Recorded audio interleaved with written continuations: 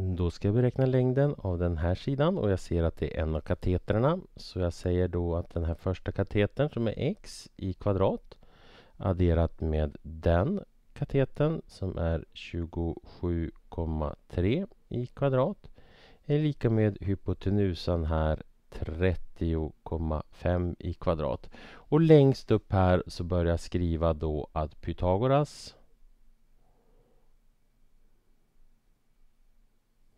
sats.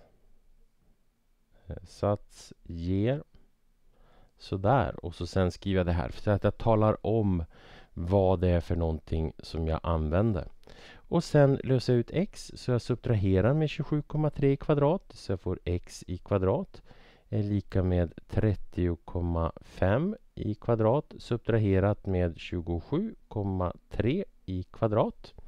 Och sen tar jag kvadratroten ur. Så x är lika med kvadratroten ur det här. 30,5 i kvadrat minus 27,3 i kvadrat.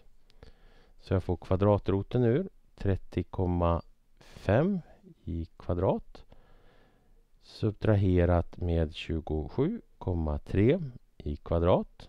Och så trycker jag lika med här. Och då får jag det till 13,6. Så x är lika med 13,6. Så svar längden är 13,6 centimeter.